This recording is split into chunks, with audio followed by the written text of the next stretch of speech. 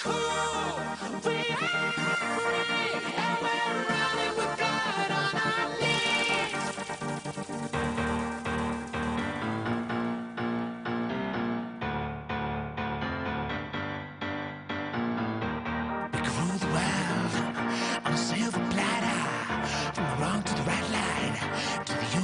We are at Black Island Studios and we're filming a pop video for a song called Kick Ass that I've done for the movie called Kick Ass.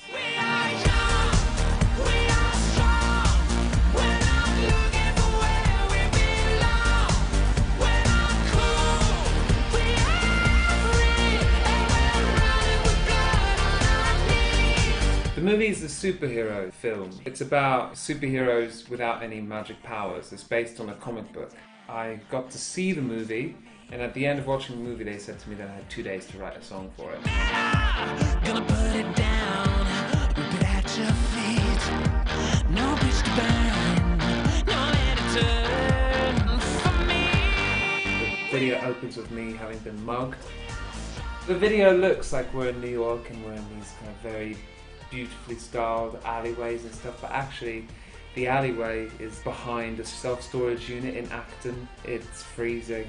I'm walking through the street, I've just been beaten up. Then I kind of walk through these alleyways and come across the kick-ass comic book. And then I suddenly charged with this illumination that I can myself turn into a superhero without powers as well.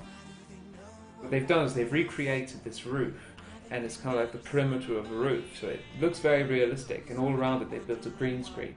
If you listen to the background noise, you can hear this kind of.